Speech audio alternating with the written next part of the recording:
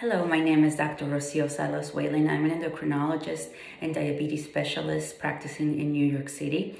I have a lot of uh, patients with diabetes, either type 1 or type 2, and due to the complexity of diabetes and its care, uh, I really uh, have noticed improvement when we use technology in favor of the patient.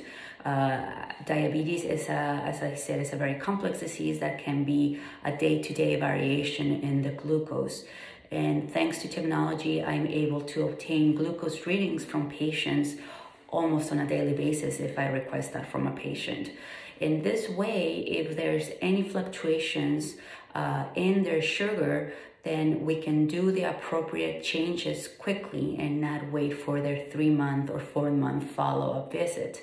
Uh, it's very hard for patients to see us every day, um, but through technology such as glucometers, apps for, for their glucose, glucose, glucose continuous sensors, we can achieve a better and tighter control when we are aware of patients' day-to-day -day variations.